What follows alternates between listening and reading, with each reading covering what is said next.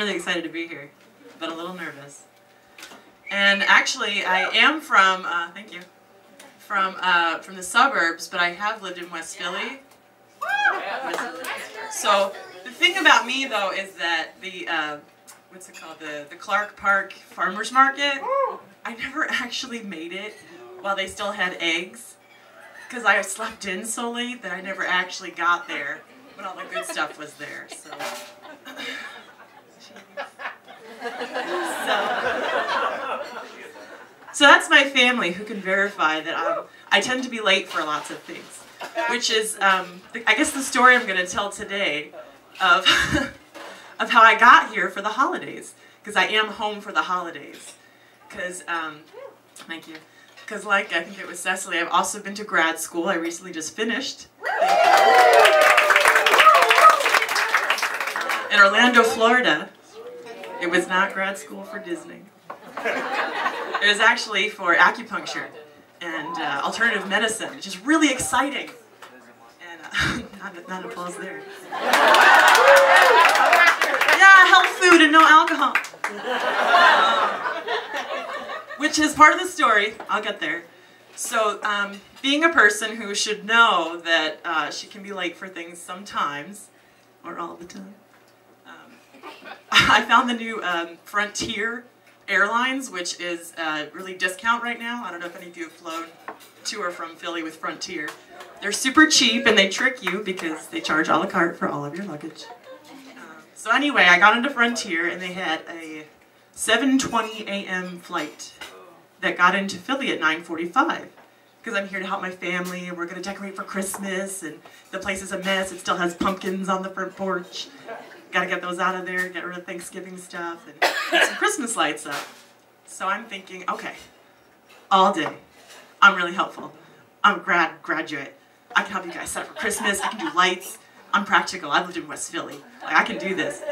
So, um, so I wake up around 5.30, for snooze. 5.45, 6. I try to get out the door and I'm like, okay, it's 6, it's 6 a.m. I can still make it. If we leave right now, we live close to the airport. It's Orlando International. Like, all right, and my boyfriend's helping me because he's going to drive me in my car, and then I'm going to go. But the thing is that um, because I'm a West Philly type of person, the place where I live in Orlando is a big house with several roommates. It's a communal house, you could say. And so um, they're not exactly West Philly, so everyone has a car. And we have one driveway. So we're usually pretty good. We usually communicate and we know our schedules. And for some reason this day, no one knew my schedule. And this was very stressful. So, um, because I'm practical and resourceful and graduated grad school, I'm like, all right, we got this. All right, baby, back me up. I can reverse. I know how to parallel park You Trust me, I'm from Philly. I got this. I got this. Okay. And I back up from the front spot in front of the, the garage sideways out in front of this car, this way, like this, for like about five minutes, and then pull sideways across the neighbor's lawn onto their driveway, around the corner here, and I'm like, yes, okay, get in, baby, airport, let's go, okay. Okay, so we're on the, on the drive to the airport. Now the thing about Orlando International is that they have two terminals, A and B. So you think it wouldn't be that hard to figure out which terminal, Frontier Airlines, with all the signage. I don't know how I forgot to read that morning, as well as my boyfriend. So we ended up at Terminal B, which was incorrect. And at this point, I was like, okay, well, I can still make it. I did this short pack, and I packed really well, and I only have like my like my layers and all my stuff, and so we're gonna make it. Let's go. It's carry on. Let's go. I can do this. And then um, I got in, and I got to the ticket counter, and the lady was just clearly like, this is not happening. So, so you'll be on the 440 flight. You know, here's the fee. And I'm like, that's cool. I'm gonna make money. I'm a grad student. I can afford fees. That's for my family, and actually, it was the best I think like nine hours day because I've been really, really busy. I've been really busy. That was yesterday. And so I spent between approximately like 8 a.m. ish until about 4:40 p.m. at the Orlando International Airport, people watching, and being uh, a student of a grad of a school that you know preaches like health and well-being. I just looked around at how awfully unhealthy everyone looked and judged them as I sat for my seat, charging my phone. But no, I was actually just people watching. It was nice, and there were Christmas trees set up, and and it was really cool, like watching like families and lots of little kids and different versions of strollers and so many different people, like a lot of diversity, like people wearing a lot of different kinds of things and and I was really cool, like watching people like take selfies of each other and like, oh, I'll take the picture of the three of you, sure, and like people sharing. It was just kind of cool to just not have anywhere to be. I couldn't go anywhere. My car was uh, gone.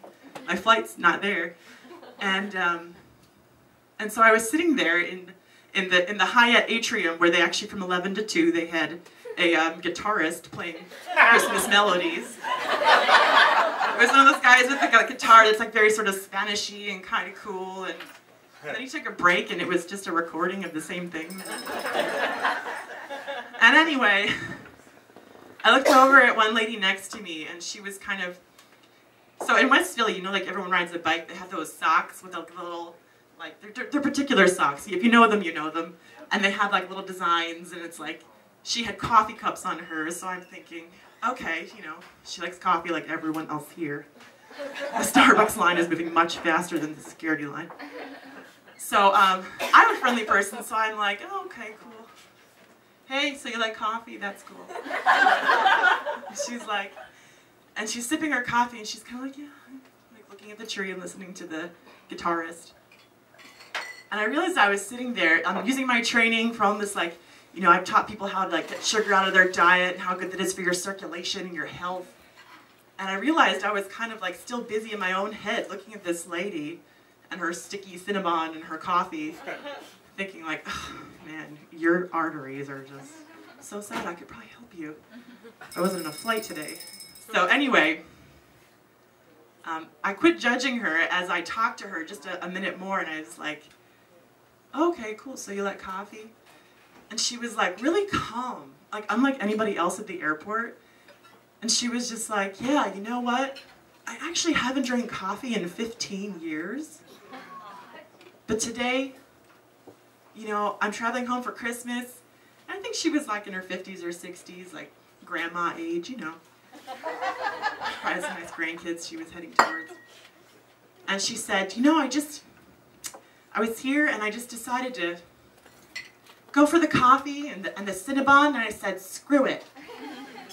I'll probably regret it tomorrow, but she just had this look of joy in her face. And that lady kind of just like, I already had kind of started to chill out from grad school and stress, and, and she kind of just made me realize, like, yeah, screw it, have a sticky bun out again.